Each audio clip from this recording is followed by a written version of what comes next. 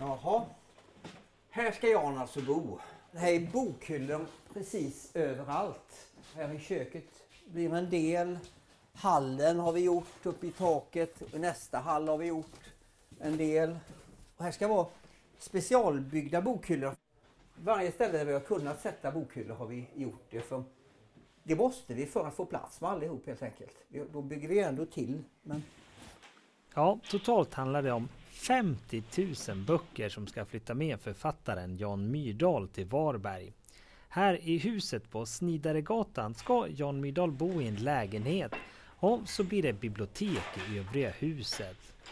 Och det är hotellägaren och Varbergsprofilen Lasse Diding som tillsammans med författaren Henning Mankel sponsrar flytten ekonomiskt. Jans bibliotek är helt unikt. Alltså, Henning Mankes svärfar Ingmar Bergman hade ett jättelikt bibliotek, ett privatbibliotek som var ganska normalt för en bildad borgerlig familj. Men Jan ser ett slags arbetsbibliotek från en 1800-talsintellektuell som aldrig mer kommer att byggas upp något sådant bibliotek. Och därför tänkte vi att det vill vi bevara för eftervärlden.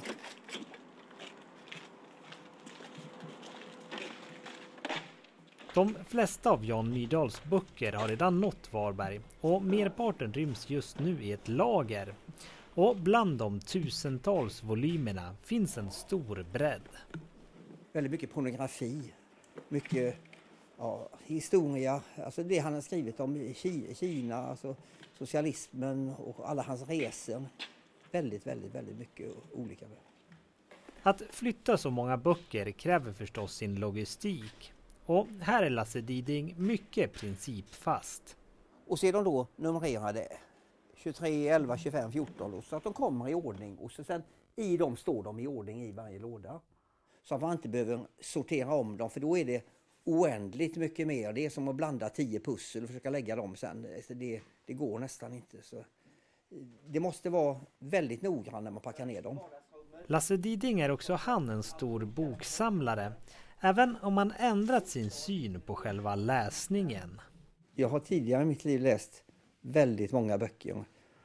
Eh, på, på någon, I någon slags eh, tävling att jag skulle läsa flest och så trodde jag att jag blev bäst. Men eftersom jag nog inte riktigt fattade vad de handlade om så gav det inte så mycket mer än att jag kunde liksom känna mig nöjd med att jag hade läst ytterligare en tjock, jävligt tråkig bok. Men det, vad är det? Jag har insett att det är lite löjligt att slänga bort sitt liv på sånt. Finns det något rum det inte kommer finnas böcker i? Nej, jag brukar vara noga med även toaletten. Jag brukar få en bokhylla. Jag gillar sån här dasslitteratur så att vi sätter upp bokhyllor där med.